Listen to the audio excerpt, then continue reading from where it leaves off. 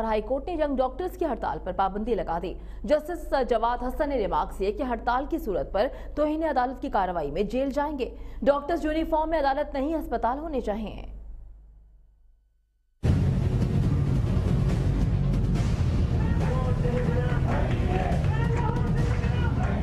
High court کے justice Jawad Hassan نے advocate Azhar صدیق کی درخواست پر سماعت کی۔ درخواست میں پنجاب حکومت سمیت دیگر کو فریق بناتے ہوئے موقف اختیار کیا گیا کہ ڈاکٹرز کی ہڑتال کے باعث مریضوں کو پریشانی کا سامنا ہے۔ دور دراز سے آئے مریض رول رہے ہیں۔ عدالتی حکم پر ینگ ڈاکٹرز کی قیادت عدالت میں پیش ہوئی۔ دوران سماعت جسٹس جواد حسن کی جانب سے ریمارکس دیے گئے کہ ابھی تو آرڈیننس آیا ہے۔ قانون تو بنا ہی نہیں، پھر ہڑتال کیوں کی گئی؟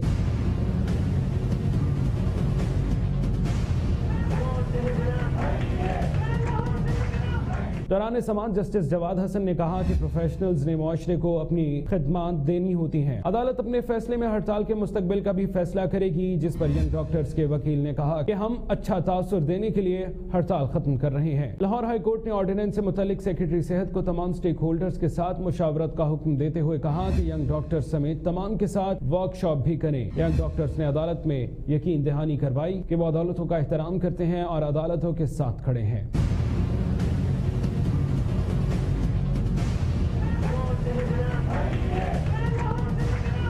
جسٹس جواد حسن نے ینگ ڈاکٹرز کو ہڑتال ختم کر کے فریقین سے تفصیلی جواب طلب کر لیا۔ انہوں نے کہا کہ قانون سازی ہونے تک ہڑتال بلا جواز ہے۔ نیا ڈرافٹ سٹیک ہولڈرز کی مشاورت سے بنایا جائے۔ پہلے ہی کہہ چکے ہیں کہ پروفیشنلز ہڑتال نہیں کر سکتے۔ آئین کے تحت ڈاکٹرز کی ہڑتال جائز نہیں۔ ڈاکٹرز نے ہڑتال ختم نہ کی تو اچھا نہیں ہوگا۔ پیشی کے موقع پر ڈاکٹرز کی بڑی تعداد لاہور ہائی کورٹ میں موجود تھی۔